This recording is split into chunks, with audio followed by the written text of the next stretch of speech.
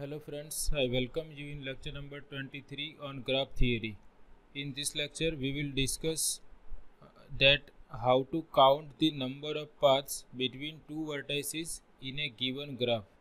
Suppose we are given a graph G in which we are we are having this type of listing of vertices v1 v2 vn and suppose we are interested in the total number of paths from vertex say vi to vj so our problem is how to determine the exact number of paths from vertex vi to vertex vj in a given graph g so for that we can use adjacency matrix of a graph. We have discussed about adjacency matrix in previous lecture in lecture number 22. So if you have not seen that lecture, first watch that lecture on adjacency matrix. So suppose I am interested in the number of paths from vertex say vi to vertex vj. So for that suppose the paths I am interested are of length r. Suppose we are interested in the number of paths of length r from vertex vi to vertex vj. So for counting those number of paths we have to find out the adjacency matrix of given graph. And if we are interested in the number of paths of length r then we have to find out rth power of adjacency matrix. And if we are interested in the number of paths from vertex vi to vertex vj then we have to identify the entry in ith row and jth column of this matrix so we have to decide the ijth entry of rth power of adjacency matrix and that entry will give us the total number of paths of length r from vertex vi to vertex vj. For example, if I am interested in the total number of paths from vertex v3 to vertex v5 and suppose we are interested in the number of paths of length say 4 then first we have to find out fourth power of adjacency matrix and because here we are interested in the number of paths from vertex v3 to vertex v5 we have to find out the 3 5th entry of this matrix that is entry in third row and fifth column. That entry will give us the total number of paths of length 4 from vertex v3 to vertex v5 so that is a theorem which provides this result that I have written here. And uh, let capital G be a graph with adjacency matrix denoted by capital A with respect to the ordering v1 v2 vn and this result is applicable for directed as well as undirected graphs for simple graphs and uh, loops are also allowed. So the number of different paths of length r from vertex vi to vertex vj equals the ijth entry of a to the power r. Here r is a natural number or non-negative integer. So to understand this theorem I have taken one example. We are not going for the proof of this result. Uh, we will uh, remember this result that rth power of adjacency matrix will help us to determine the number of different paths from vertex vi to vertex vj and that is given by ijth entry of a to the power r. I have taken this example here I have taken this undirected graph and I have to find out that how many paths of length 4 are there from vertex A to vertex D in the graph G which is shown in this figure. So I am interested in the number of paths of length r equal to 4 from vertex A to vertex D. So first I will decide what is the adjacency matrix of this graph and uh, for that I will list my vertices in particular order. Suppose I am using this listing of vertices to determine the adjacency matrix. And after finding adjacency matrix because I am interested in the paths of length 4 I have to determine fourth power of adjacency matrix.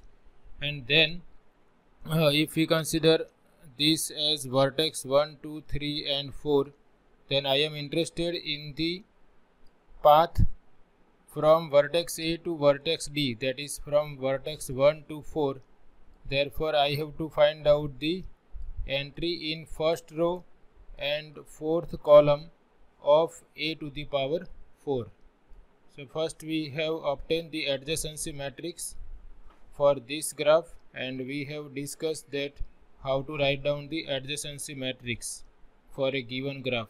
You have to first write down your vertices in a particular order. Suppose we are using this order. Then entries of adjacency matrix are nothing but suppose we are interested in this entry then this corresponds to vertex A and vertex B.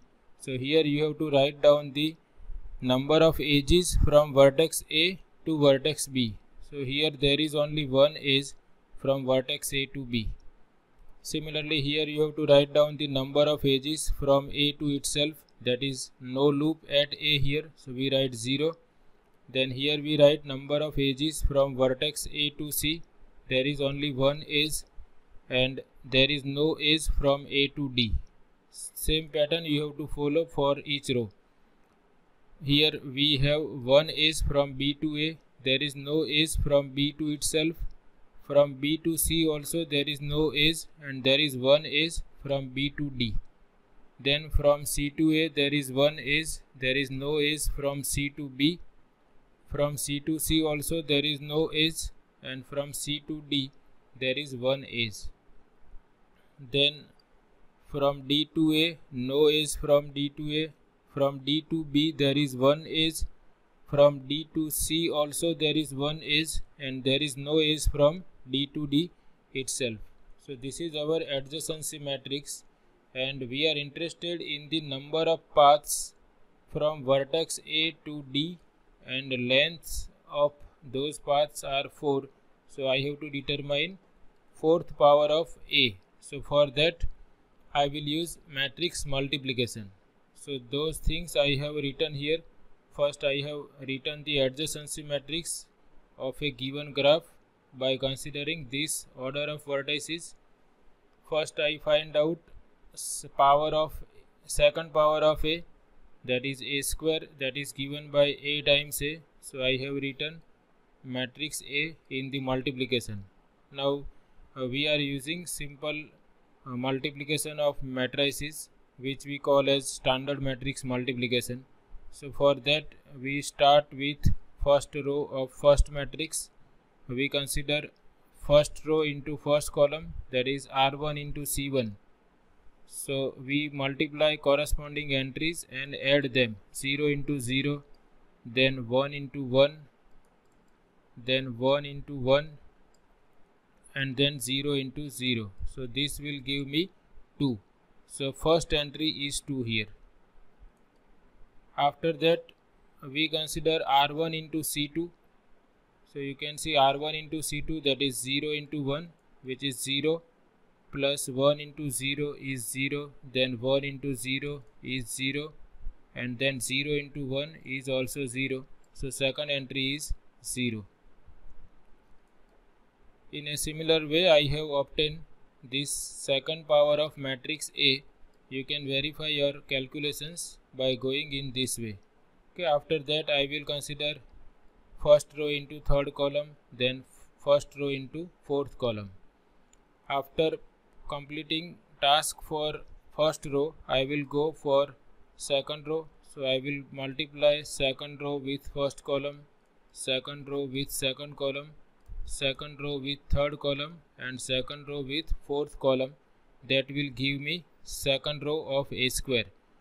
Uh, we can see for this particular r2 into c1 so I have to multiply 1 and 0 that will give me 0 then 0 and 1 that is 0 then again 0 and 1 that is 0 and 1 into 0 that is 0 so this will give me 0 so in a similar way you can verify all these calculations and we obtain second power of a then we are interested in the fourth power of a so i have to decide a to the power 3 that i can write as a square times a so this is my a square and I will multiply a square with a that I have written here. This is a square and a. Again I use that standard multiplication r1 into c1 then r1 into c2, c3 and c4. For example, if we consider r1 into c1 then 2 into 0 that is 0 then 0 into 1 that is 0 then 0 into 1 again that will 0 2 into 0 is 0 so that is the first entry here then we consider r1 into c2 so 2 into 1 that is 2 plus 0 into 0 that is 0 plus 0 into 0 again that will give me 0 plus 2 into 1 that is 2 and I will have 4 here. Now going in a similar way, I have written third power of a. And finally we are interested in the fourth power of a that we write as a cube times a. So this is our a cube that we multiply with adjacency matrix and again using standard matrix multiplication I obtain a to the power 4. We can check for first r1 into c1 so 0 into 0 that is 0 plus 4 into 1 that is 4 plus 4 into 1 that is 4 and plus 0 into 0 that is 0 and 4 plus 4 is 8. So in this way other entries are obtained. So this is fourth power of A and we will stop here because we are interested in the paths of length 4 from vertex A to vertex D. So this is vertex A and this is vertex D. So that means we have to decide entry in first row and fourth column of a to the power 4. So I am interested in the 1 fourth entry that is 8 here. So that is nothing but total number of paths of length 4 from vertex A to vertex D. So the number of paths of length 4 from vertex A to D is the 1 4th entry of A raised to 4 which is 8. Hence there are exactly 8 paths of length 4 from vertex A to vertex D.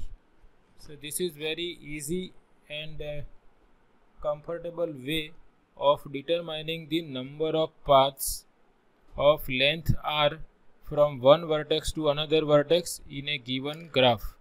But here if uh, the number is larger then this process of considering powers of matrices becomes tedious. Suppose we are interested in the number of paths of length say 8 in a given graph from one vertex to another vertex then in that case uh, we have to obtain eighth power of adjacency matrix but for smaller powers we can easily find out powers of matrices and we can determine the number of paths between two vertices in a given graph. So sometimes they can ask you to find out the number of paths between two vertices in a given graph. So for that remember this result.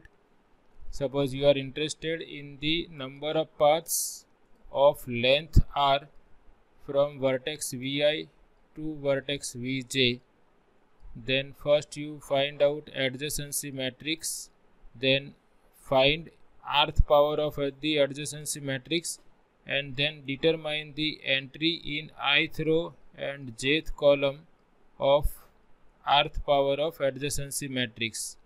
That entry will give us the exact number of paths from vertex vi to vertex vj so this is all about this session We will continue with graph theory lectures in upcoming sessions. Thanks for watching.